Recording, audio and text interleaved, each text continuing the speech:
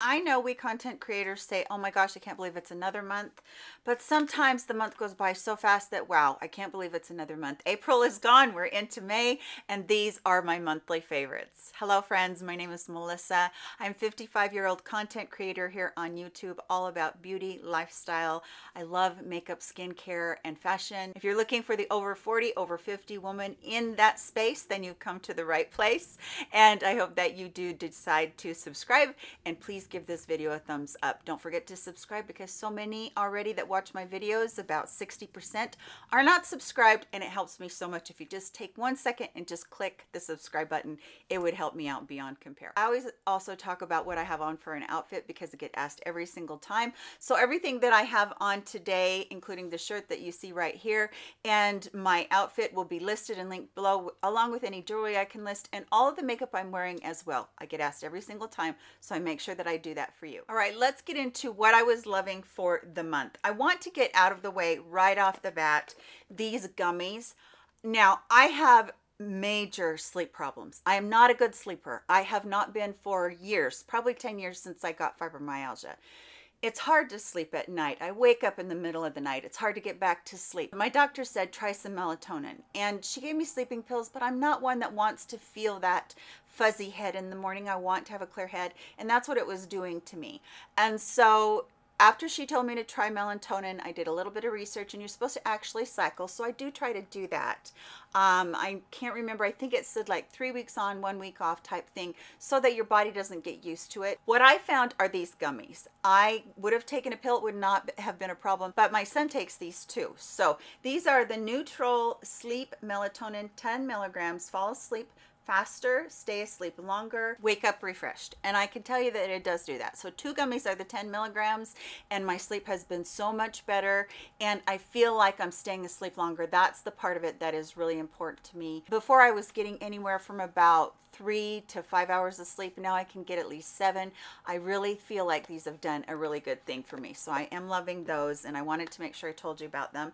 And then I also wanted to make sure I told you about from Beauty of Joseon. This is the Apricot Blossom Peeling Gel. Doesn't have an apricot fragrance in it and it's not really a peeling gel. What it is, is it's a very mild exfoliator and I think I may have brought this to you before, but I want to talk about it today because I'm loving it this month. Now, as the seasons change, I always need to tweak my skincare just a little bit. But this right here, as I'm going through menopause and my skin's getting so much more sensitive, is what I needed. And the reason is, is because the exfoliant in here is a physical exfoliant. It's not a chemical one. But it's made of plant cellulose, so it's not abrasive at all. As a matter of fact, it's so very gentle that all you can feel is just these little plant fibers rolling around in your fingers and polishing your skin. It is so very gentle. So if you have sensitive skin or you have extremely dry skin that gets sensitive if you try to do too much exfoliation, this is going to be something you're going to love. I was shocked at how much this polished my face and how smooth my face felt after this. And it's very gentle. You could use it every day. As a matter of fact, some days I'll use it in place of my cleanser and it just makes my skin feel polished and like a baby's bottom. So I really love this as well. Also for about this past six weeks or so, I did have one of the you subscribers, and thank you so much, you know who you are, suggest to me the Babe Lash Eyelash Serum. That's a mouthful. And the reason that she did that is because X-Lash, which is the eyelash serum that I used for such a long time, is no longer available in the States without humongous shipping over, I think it's made in the Netherlands or something.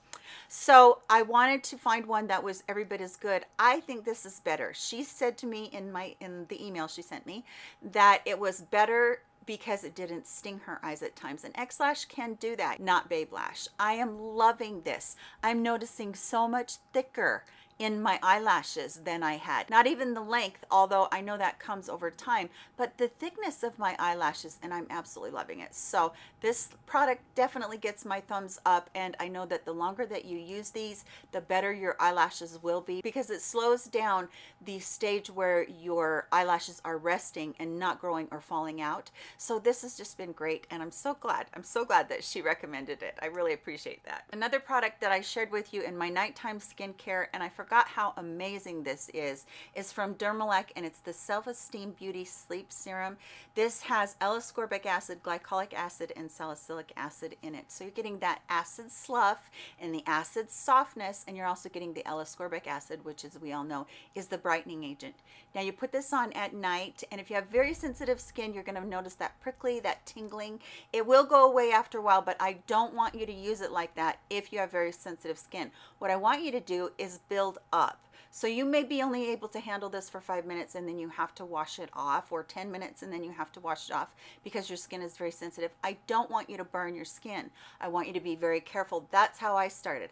I started with a couple nights a week with it just being on my face and then me washing it off after however long I could handle it being on there. And then I noticed that it, there was definitely sloughing, but I noticed the softness. The softness that comes in my skin from this product is tremendous. Now I'm using this anywhere from one to two times a week. It's usually one time a week, and I'm using it as a leave-on product. I use this in alternate with my retinol products. So if I was going to use this one night, I wouldn't be using the Murad that same night. I wouldn't be combining them together. You want to be very careful if you have sensitive skin. If you don't, you might be able to handle this more often. I know that a lot of people say, I have skin that's tough as leather. Well, this is going to help soften it, but you're also going to be able to use it more often, which gives you even more softness. I'm also noticing how much it's brightening my complexion. So this is a great one if you're somebody that has been thinking about getting some sort of a chemical exfoliant, this might be the trick for you. e.l.f. also came out with their Power Grip Dewy Setting Spray, and I did show this in a demo to you, and I will try to remember to put that video up in a link here or down in the description box. But what I really like about this is it does have a little bit of oils in here, so you have to mix it up by shaking it really well. They got the mister just perfect on this. I mean, that mist is super fine. It goes on your face. There's not any droplets. You don't have to worry about going back in with a sponge to make sure there's nothing spitting at you. It's beautiful. And it will set your makeup, and I have my makeup on all day, but because I am a dry skin gal, I don't feel like this dries me out in addition to whatever powders or anything I use.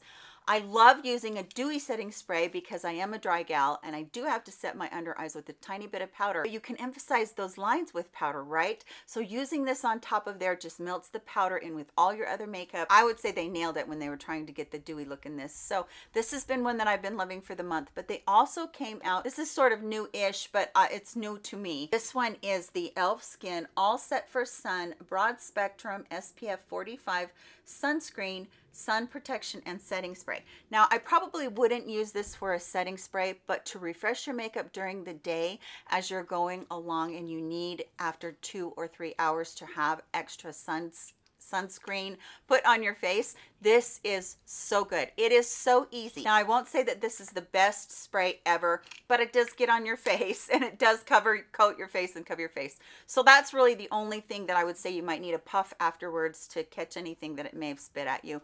But as far as being able to reapply your sunscreen during the day and not disrupt your makeup, this is the ticket. I am so happy with this. This does have alcohol in it. I can smell the alcohol.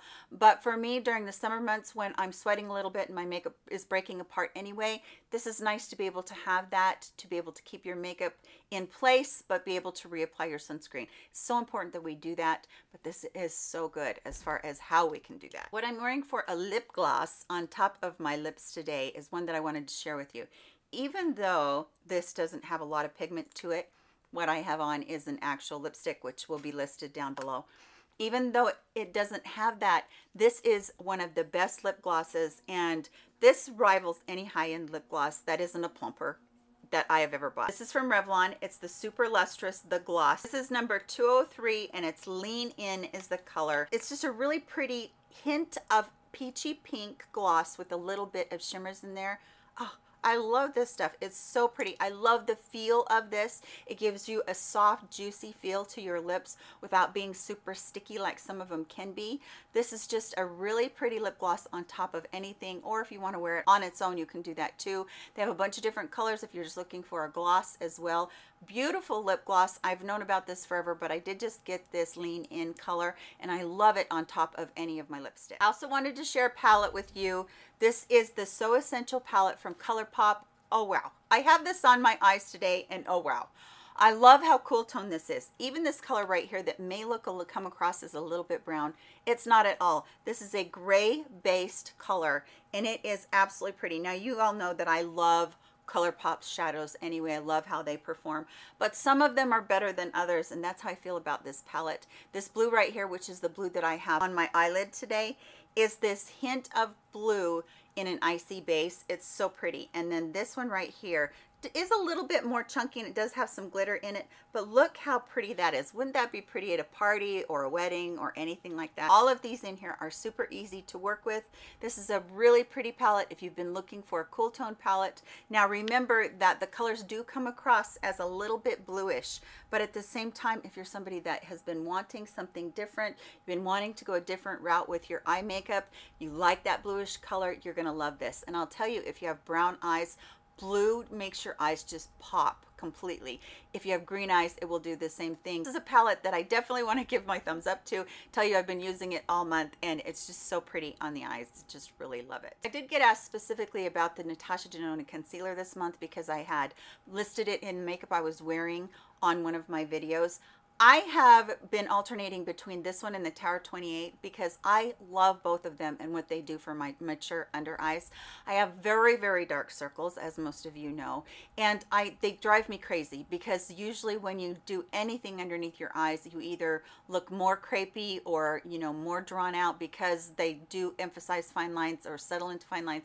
This does not settle. Now, do I have to use a little bit of powder? Powder? Yes, I do. But also remember that I use powder every single time in no matter what I'm putting underneath my eyes because I do have deep wrinkles under there and I don't want it to settle. But misting a setting spray on top of that, like I was showing you with the e.l.f. grip, just completely makes it melt in. Now, what I do like about this is it's a tiny bit thicker than the Tower 28. The Tower 28 is a very thin formula with high pigment.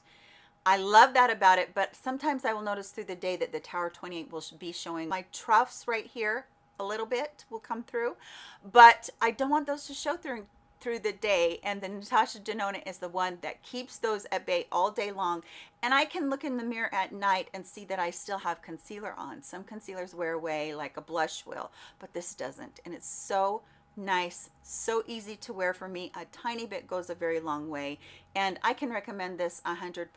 I think that Natasha Denona did a fantastic job with this concealer, and yes, I do love it. Another foundation that I've been just loving so much, and I have it on today, is the Urban Decay Face Bond. This is newly out, newly released, and I've been really surprised at how much I like this. I have noticed how long wearing this is more than anything. And going forward to the summer months when it gets really hot, that's going to be really, really important. But it perfects my skin too. I am just shocked at how pretty it lays across my skin and doesn't settle into the areas that drive me the crazy craziest, you know, which is the chin fold right here and the nose fold. And it does all of that in one coat. I have to put a little bit more over the redness and the dark spots that I have through this area, but nowhere else. It just does a great job. It is so pretty with so many primers that I've used. As a matter of fact, I don't think I've used a primer that I don't love this with. So it just really is one that I've really been loving and enjoying and I wanted to pass on to you that this one gets my thumbs up as well. I might even do a demo on this so that you can see, you know, from morning to night. Now this on me right now is about, I would say this is probably about six hours of wear. I put this on this morning and now I'm taping. So it's really good and I really have been enjoying it. And like I said, no break apart, no settling. It itself is probably a medium consistency foundation and then it's medium to buildable coverage. So I really have been enjoying and loving this one. I want to leave you on a high note and that is the YSL mascara. I've been testing this out ever since the Sephora sale and I saw Lisa J say that this is her favorite mascara. This is a wow, wow, wow product. As far as the, the wand goes, I'm not super wowed by it, but as far as the formula inside of here, I'm super wow, wowed by the formula. The wand itself is the natural bristle brushes. This gives amazing volume. So if you're somebody that has long lashes already and you want the volume, this gives amazing volume. And then you just have to go in and tip your lashes to get a little bit of extra length after you've done your coats or whatever you're going to do. It doesn't clump together like I have found with so many of the other mascaras that I've tried that are high end. But what is amazing about it is it never even flakes even a teeny tiny bit. It never smudges even a teeny tiny bit. This is just a fantastic mascara and I'm so blown away at how long it lasts. So if you're somebody that gets up in the morning, you put your mascara on, you go to bed at night, you're like, what happened to my eyes? I don't got nothing on my eyes.